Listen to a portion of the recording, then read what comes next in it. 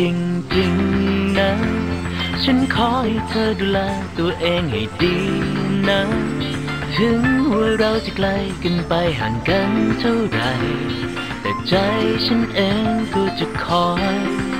ตามเธอไป อย่าอดนอนนะ มื้อเช้าเธอควรจะกินอะไรให้อิ่ม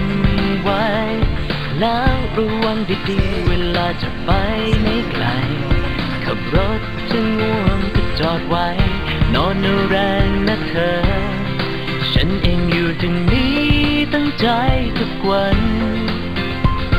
เขานอนเร็วๆทุกคืน จะได้พบเธอในฝัน สิ่งที่ฉันไม่เคยลืม ใจมันก็คอยจะถามเธอ ทุกทีคิดถึงฉันไหมคนดี คิดถึงทุกวันคิดถึง